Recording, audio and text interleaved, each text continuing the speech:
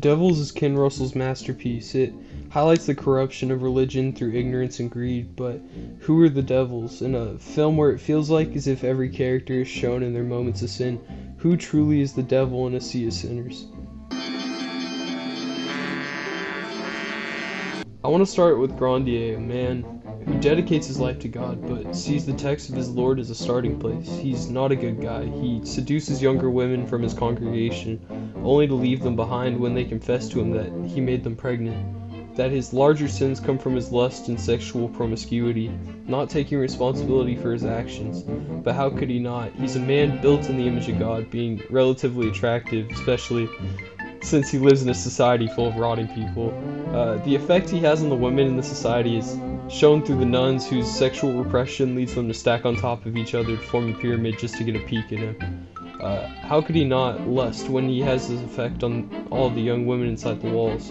While he lacks empathy for the women he entangles himself with, he still cares for the people of his congregation. Though he is a religious man, he allows the plague doctors to attempt to find a cure for the plague.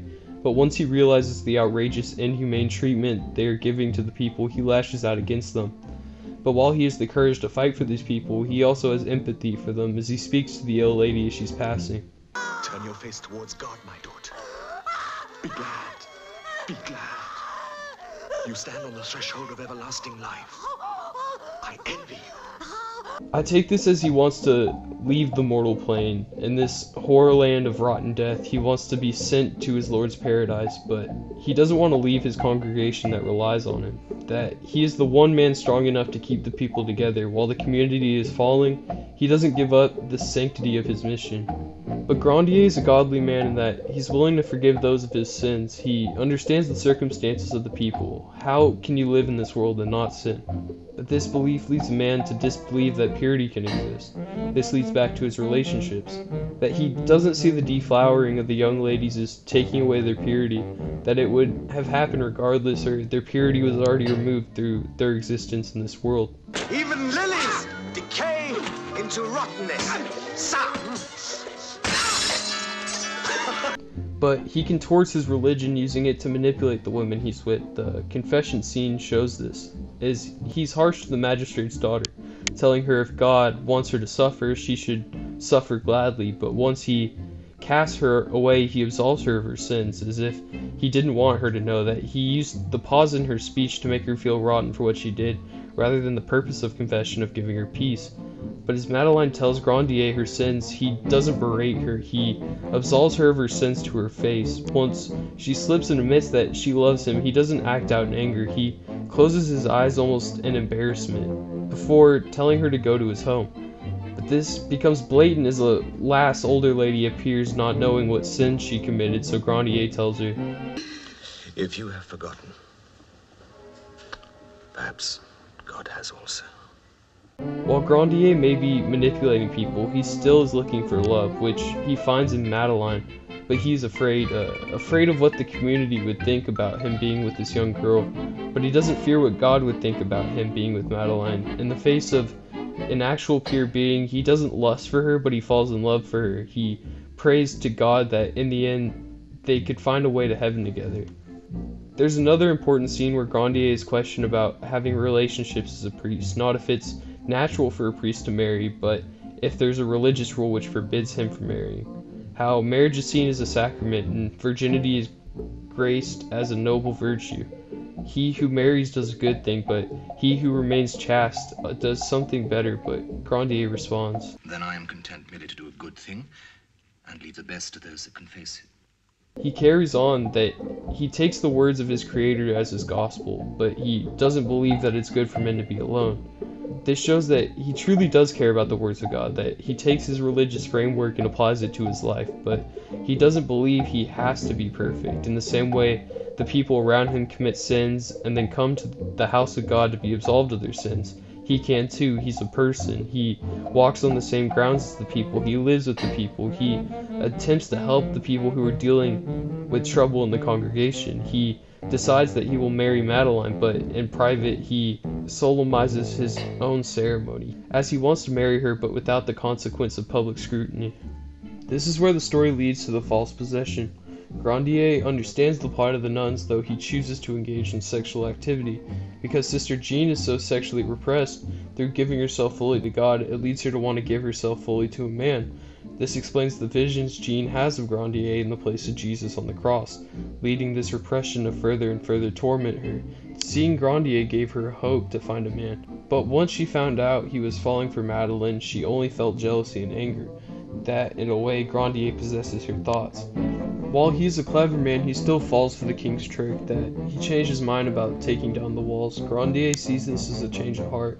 He states that he was surprised something so important could be settled in such an easy fashion, but chalks this up to Richelieu convincing the king to spare the religious congregation, not seeing the larger cards at play, that they could eliminate him, then take the walls down when the central figure of their town is discarded. But this is happening as Grandier's true vision is shown to the audience. Having found his wife, he acknowledges his weakness and sin but wants to change for the better, that he wants to build his new self from the goodwill and wisdom of the people of Loudun, that he wants to fully live in the will of God, to cast off greed and dissension from entering Loudun, to make Loudun strong through the teaching of God. Ken Russell almost tactically shows Grandier's sins through the beginning of the film to build up the audience that the priest is acting in sin through his position as the mouthpiece of God for his community, that he is tricking the people of the church into thinking he is a godly man, while he runs through the youth of the community. He's the devil controlling the people with his words of God. But this illusion is broken as the false prosecution of Grandier starts. It's shown that while he is false, he was acting in what he believed was ethical. In a sea of cinders, Grandier doesn't look so bad. So, if Grandier isn't the devil, then who is? My hump! Take away my hump! Oh, Christ!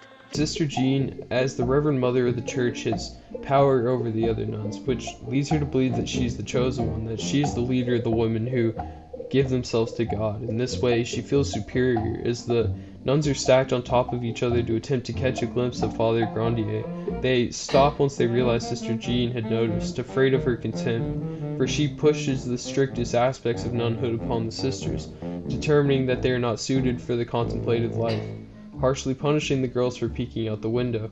Then, once the girl leaves, Jean goes into the secluded room with a window to peek out at the service. This shows us the first case of Sister Jean's jealousy, that as small of a thing as catching a glimpse of the man she wants causes her to lash out at the girl whose only crime was seeing what she saw in Grandier. Sister Jean, like all the other nuns, is incredibly sexually repressed, giving herself fully to God.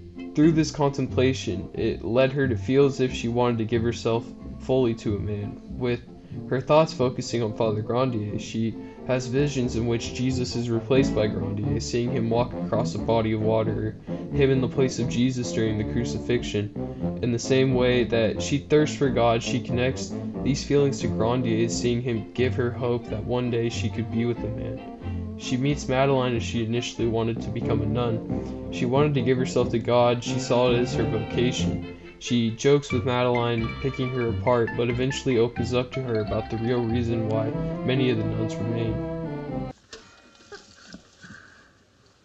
Most of the nuns here are noble women who have embraced the monastic life because there was not enough money at home to provide them with dowries.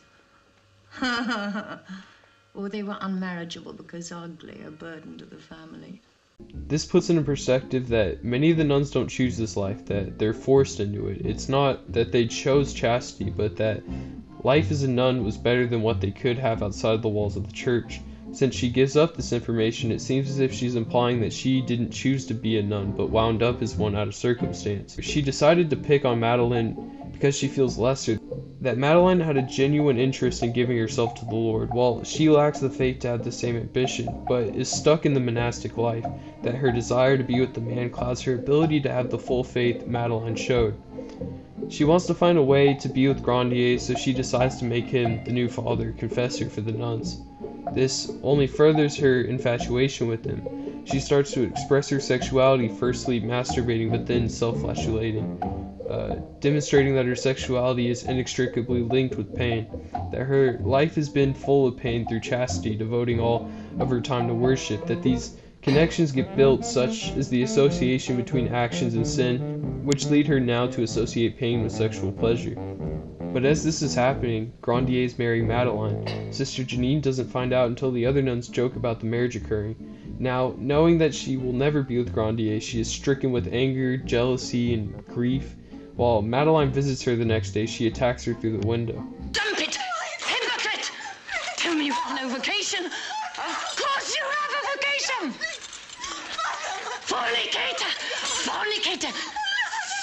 Bitch! She becomes even angrier when she realizes the new spiritual director that was assigned is Father Mignon instead of Grandier. At this moment, she decides to destroy her life, claiming that Grandier has possessed her. She knew the trouble that making this accusation would bring, but didn't care as she was so jealous that if she couldn't be with Grandier, Madeleine couldn't either. A public exorcism is set to rid Sister Jean of the demon.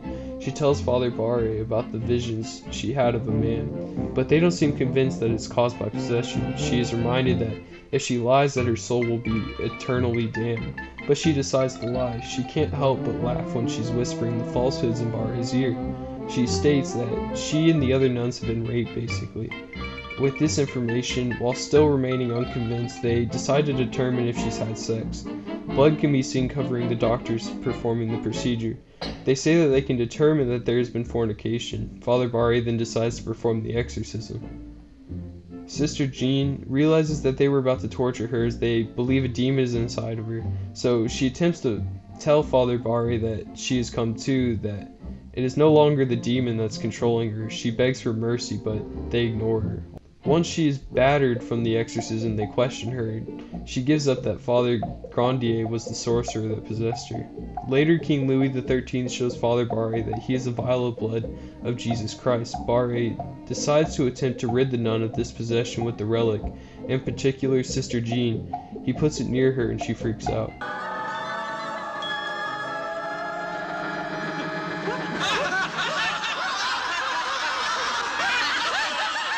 Just to find out that it was nothing. Uh, Jean realized that her lies have just been shown in front of the audience of the townspeople. Jean is still further punished as those in power push to arrest Grandier. She explains that he has the five marks of the devil. Grandier exclaims that he may be a sinner, but he's not Satan's boy because he doesn't have humility. He tells her again that if her wish is fulfilled, that her soul will be eternally damned, but she doesn't react this all lines up to show that she doesn't choose to believe in eternal damnation, that she doesn't believe in God. All of her thoughts have moved to jealousy, that she's trapped in the life of a nun, not able to be with the man, that in this life she's already damned to live a life of torment.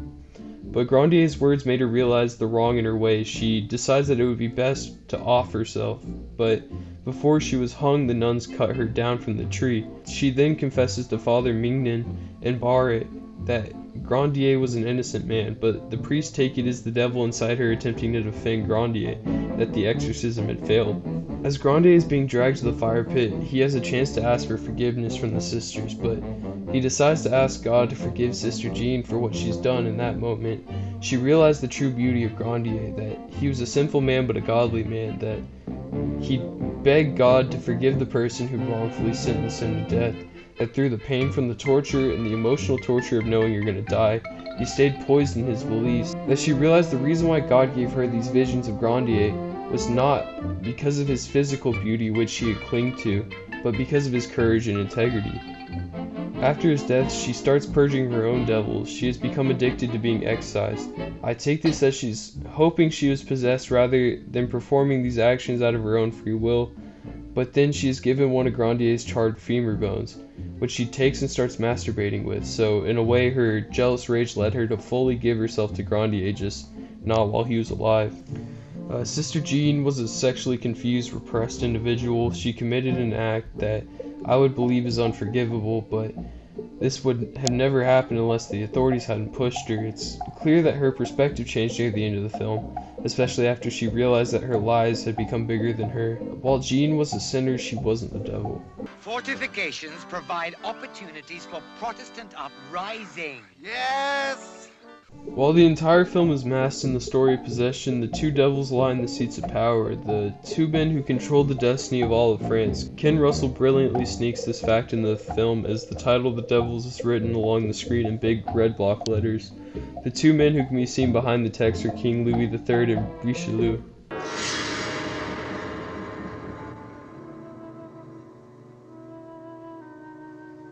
Throughout the entire film, these two men were attempting to gain control of the territory, as they denote in the pistol scene.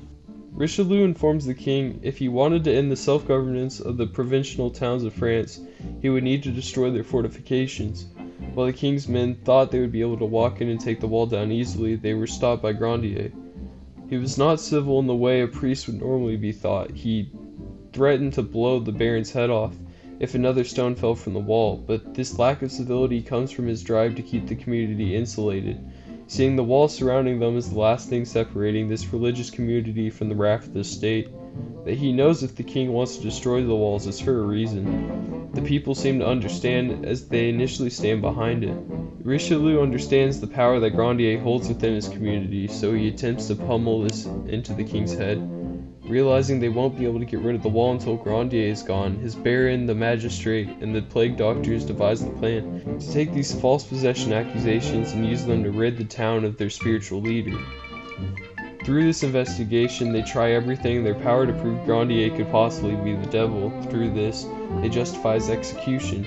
Just as Grandier gets burned at the stake, the baron nods his head to his men lined up along the wall. Multiple explosions sound as sections of the wall burst into pieces The devils got their way. They killed the spiritual glue that was holding the city together.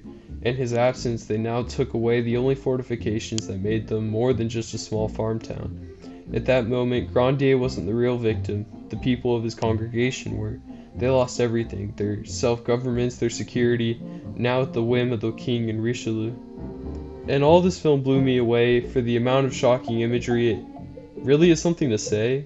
Uh, this is a necessary story to tell, and I feel that the imagery truly meant something here. Wasn't made just to spark an emotional reaction from the audience, but the violence and sexual depictions were in extremes, in the same way that those who repress these feelings eventually are pushed to extremes when they let the emotions break open. Uh, I don't think the film's message would be as clear if the film was heavily censored in the way it was originally released in America, but that's all I have for y'all today. I uh, hope to see y'all next time.